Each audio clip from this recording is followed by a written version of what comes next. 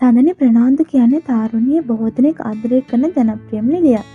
සඳනිට ආදරය කරන ප්‍රේක්ෂකයන් ගොඩක් ඉන්නවා. ඇයි නම් ලංකාවේ ලස්සනම නිලිය කියන්නත් පුළුවන්. මොකද ඒ තරම්ම ඇය ලස්සනයි. ඇගේ ලස්සන ගැන නම් කියන්න වචන නෑ.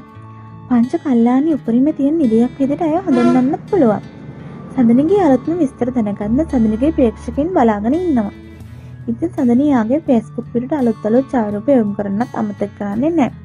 සඳන තරුණ පිරිළමගේ සීන කුමාරයුවත් ලංකාවේ අදහස නම් ඔවුන්ට අතහැරගන්න වෙලා ඒ පියත් රජපක්ෂ නිසා ඒ දෙන්නගේ ආදර කතාව හරිම අජනප්‍රියයි දෙන්නම ළඟදීම විවාහ ජීවිතයට එන්න බලාපොරොත්තු වෙනවා කියලා තමයි ආරංචි තියෙන්නේ.